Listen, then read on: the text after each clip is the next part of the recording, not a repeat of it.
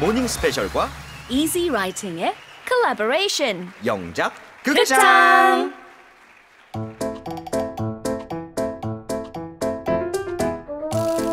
마유, 마유, 우리 뭐 먹으러 가자. 어휴, 아, 잠깐만. 벌써 2시네. 아, 너 이미 점심 먹었지? 나 점심 못 먹었어. 너의 도움 없이는 뭘 먹지도 못하는 아주 슬픈 시츄에이션이야. 왜? 무슨 일 있었어? 왜 못 먹었어? 아니 알다시피 나 채식주의자 된 지 3일 됐잖아. 음. 심지어 극한의 채식만 한다는 비건 말이야. 어? 그래서 나 같은 비건을 위한 식사가 나오는지 물어봤지. 어? 난 궁금하니까 I wonder. 그치? 그치? Why wonder? 어. 그리고 나를 나를 묘사하기 위해서 a vegan. 나는 피건이다. 어. 근데 알아듣기는커녕 아예 듣는 척을 안 하더라고. 아유, 아마 네가 좀 이렇게 피건처럼 생기진 않았잖아. 허허. 야 고맙네.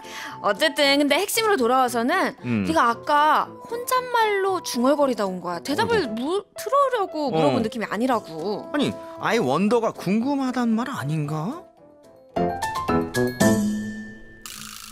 Easy writing tip of the day. I was wondering if a vegan meal option was available. 채식주의자 옵션이 있나 궁금해서요. 자, 오늘의 표현은요. I was wondering if 그 뒤에 평소문 과거 이렇게 넣게 되면 평소문 과거인지 궁금해서요라는 말이 됩니다. 음, 그리고 이 표현은 음. 궁금한 사항에 대한 대답을 기대하면서 쓰는 아, 표현입니다. 그렇군요. So for example, I was wondering if you could join us for dinner tonight. 어, 궁금해서요. 근데 뭐가 궁금하냐면요. 오늘 저녁에 저 저희랑 같이 저녁 식사할 수 있는지 궁금해서요. Another example, I was wondering if you could help me with my cover letter. 음, 네가 내 커버 레터에 대해서 날 좀 도와줄 수 있는지 궁금해서. 그러니까 대답을 원하는 거죠. 자, 그리고요. 만약에 I was wondering 안 하고 I wonder if 이렇게 문장 시작하면 대답을 기대하는 말투보다는요. 혼잣말에 가까운 느낌을 좀 아하. 전달하죠. So when you say, um, I wonder if Mayu is still teaching in Korea. 음, 바유가 아직 한국에서 가르치고 있나? 그냥 혼잣말에 혼자서 가까워. 중얼중얼 맞아요, 거죠. 맞아요.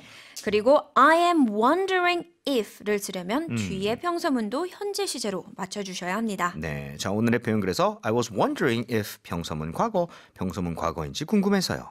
Okay, and I was wondering if a vegan meal option was available. Okay, to find out more, please tune in to Easy Writing.